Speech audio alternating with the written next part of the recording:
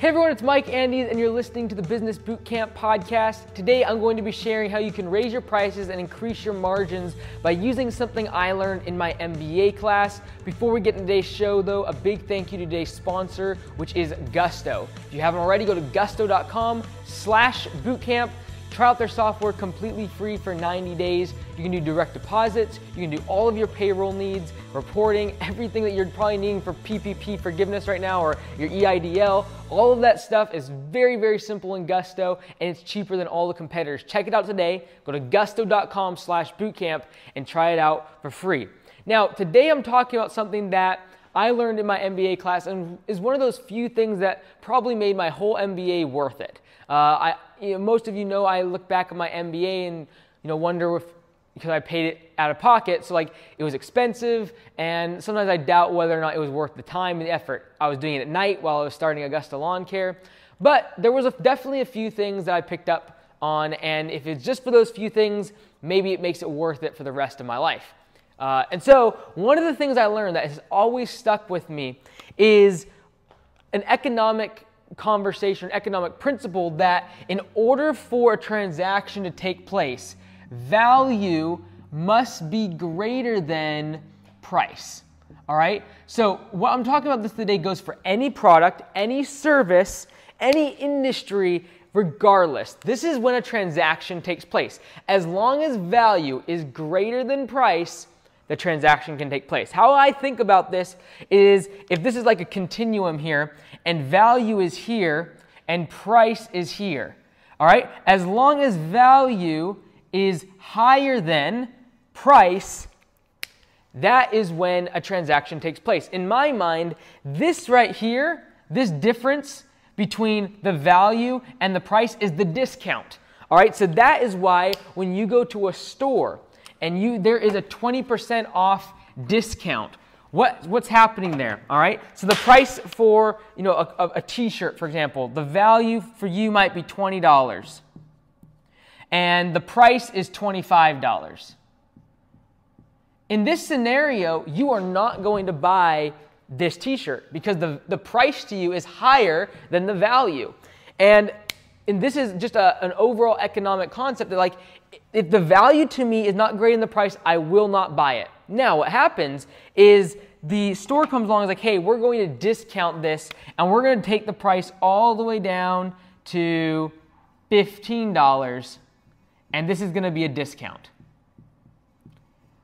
Now, this discount term, this is probably not an economically correct term. This is how I think about this difference here. This is not an actual term in economics. But when it comes to here, now price at this new discount of $15 is lower than $20 of the value. Therefore, in this scenario, because the value is higher than the price, the transaction will take place. Now, how can we use this in our businesses to actually make a difference? This is a lot of times what I use for landscapers, and I'm going to use that analogy for now. But again, this can use, be used for any sort of industry to raise your prices. Because a lot of people go out of business because their biggest lever is their prices and their prices are too low. So they might charge $40 per hour for their, for their massage therapy services. Now, they can go out and spend a bunch of marketing and get, try to double the size of their business in order to double the revenue. Or they could double their prices and as long as they keep half of their existing customers, they would not decrease in profitability or in revenue let alone profitability. So here's the concept is if I am producing this much value and the price is just slightly lower, all right? This is where most transactions, this is an equilibrium, and that is price and value traditionally become equal, as close to equal as possible, because we as the providers or the producers we are selling services, we are selling products. We want to maximize the price. But then the consumer has to have the price slightly lower than the value. So there's always this equilibrium. Eventually it balances out, all right? Now, there might be price pressure upwards or downwards. There might be value pressure upwards or downwards. But eventually, this equilibrium basically happens. That is, value is slightly higher than price, which allows the transaction to take place. Now, What happens is when people start looking at their numbers, like, look, my biggest lever is price. If I want to double the size of my business, I can spend a lot of marketing or I can just double my prices. And then this is the problem you can't just double your prices. You can't just move price up to here because now your value is lower than your price and transactions will not take place. And this is what I push so many landscapers to do and so many other business owners, regardless of what industry, is I still want you to increase your prices. I still want you to have a premium product and increase your prices. But in order to do that, in order for that price equation to work, your value needs to come up higher. All right? where now your value is still greater than your price. And the transaction will still go through. In this type of a scenario, you're going to be charging a premium price, but you're going to be charging a you're going to have premium value. Now the big question is, how do you produce value for your customers? Now, this comes in a, lot, in a form of a lot of different things. Number one thing is going to be professionalism. All right, and this comes in the form of a lot of things being on time, having a great website, having a great brand. I don't even know if I spelled professionalism right. But all the different things around professionalism lead to greater value. Organization. I can just go like, list on and on and on. Organization. If you go to a store that is disorganized, you're less likely to pay premium prices because there's less value. Because how do they, when they organize things, it's producing value for you as a consumer because you can find what you want fast. When you go into an Apple store, there's not a ton of stuff everywhere and a bunch of clutter. It's very clean, it's very easy to find the different uh, products that they use and products that they sell, and that produces organization and that increases the value. That is why Apple can charge a premium price. All right. Other ways to, to look at value. Uh, let's do uniforms. If you have a, a, a service based business, uniforms are going to be great. Your team is going to be a level of value to the customer. Are they background checked? Are they, are they professional? Do they speak English? All these different things that are going to produce value for the customer. In the landscaping world, we talk about having uniforms, being insured and bonded when you go to, to a customer's property. That's going to produce a lot of value. And when you increase value, there's going to be people that are willing to pay the extra price. Now, the problem with a lot of people is they focus a bunch on value, but they don't raise their price. And what they're doing is they're having the price down here, but the value is way up here. The problem with this is they're running a discounted operation. And a discounted operation will almost always fail. If you look at a lot of the uh, discount brands, the ones that are really cheap, they're not the ones we know about. They're not the ones we're willing to pay premium prices for, and they have low profit margins. Now, with scalability and size, someone like Walmart operates on this high value, low price pr- proposition, and they've done very well. But in order to make that work, they have to have massive scalability, and they're operating on razor thin 1% to 2% net margin. That is very, very difficult for small businesses. Let's just be very clear. A lot of people think, oh no, I can scale this up. I can produce high value, get lots of customers, and eventually the price will catch up. But and they're looking at people like Walmart as an example. Walmart is multi billions and trillions of dollars in revenue. We are not even close to that as small business owners. We need to be thinking about how do we raise the price by producing higher value. And how do we get this number so we're no longer a discount shop and instead of operating on 1 or 2% margin, we're operating on 15 or 20% margin by having this price as high as we possibly can. Now you're asking yourself, well, what if I want to grow really quickly? If I want, if, I, if I'm not really too worried about having uh, a lot of profitability, but I'm really interested in growth. I want to hire lots more employees. I want to get more trucks, or I want to get a bigger office, or I want to, uh, whatever you're doing, increasing your store size, increasing the amount of trainers uh, uh at your gym, increasing the amount of therapists at your uh, physical therapist uh, store, whatever you're doing, how do you lead to growth? Is simply two different things you can do. You can either A, lower the price, or you can increase the value. And I would push you very, very hard to always think about value first.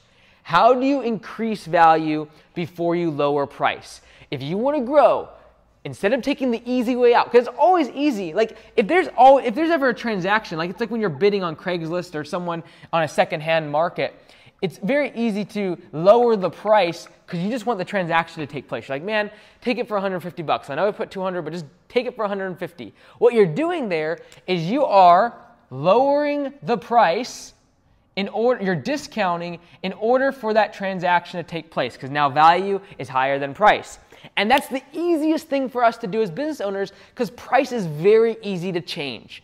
If, if this is ever close, if this transaction is ever close, and someone's like, well, it's kind of above my budget, like, can you do any better? Like, and they start haggling with you, what that means is that the value and price continuum is very, very close. And so it's very easy for us as business owners to do one thing Oh, yeah, no problem. We'll give you 5% off. And immediately it reduces the price, and the value is higher than the price, and the transaction takes place. Because whenever value is greater than price, the transaction takes place. All right? And this is the easy thing to do. And so many people fall into this discounting method. And you might say, well, I never give discounts. I, if a customer asks for a discount, I never give a discount.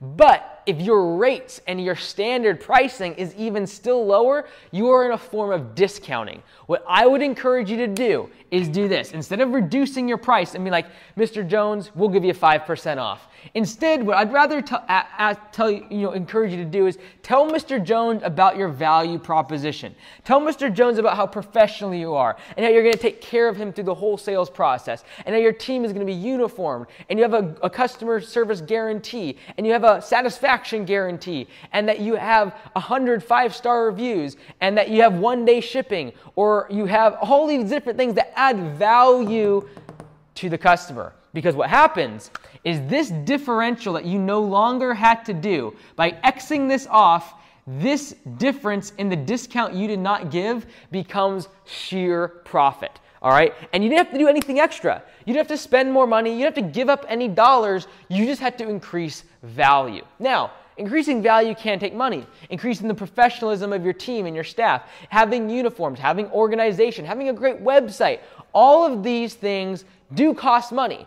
But they're one of, the, one of the beautiful things about increasing value is you get exponential returns. In other words, if I build a great website or I train my staff, I have a day where we do a bunch of training, that costs a lot of money. But I get infinite returns because in the future, I've trained them. They have that knowledge in their mind. If I organize my store layout, I make it more streamlined. If I raise the, uh, the uh, credibility of my store or my uh, therapists or whatever, my, my, my team, if I do all these value propositions, a lot of these things you do once and then you don't have to touch that, it again for a long period of time. So it might cost some upfront money, but if I can increase value, it gives me price flexibility. And price flexibility is what you want because you can move price around in order to maximize profit or maximize growth. Now, this is a very different episode that I'm usually recording, but I hope it gives you a little bit of a visual in terms of what you should be thinking about in your business. The easiest thing to do is change price. Very, very easy. Very, very easy to discount services and discount your uh, products. Value is long term. It's difficult to change. It's, it's, you can't just flip a dime and increase value.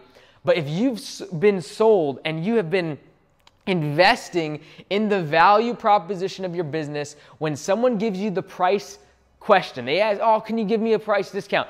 That's when you can rely on your value. And in the mind of the customer, Again, this is all about perception. The value to the customer needs to be increased. And when someone asks for a discount now, they ask, like, hey, can you give me a discount on that? Instead of thinking, oh man, how can I lower the price? Ask yourself, what can I do to increase the perceived value in the mind of the customer so that this transaction takes place? And if you're wanting to raise your prices, increase your value first, and you'll be able to do it every time and increase your margins. I hope something was said. I hope it wasn't confusing. If you like these type of explanations of a little bit deeper concepts, make comments below, and I'd love to answer any questions. Thanks so much for listening to Mike Andes on the Business Bootcamp podcast. Until next time, be great. Nothing else pays.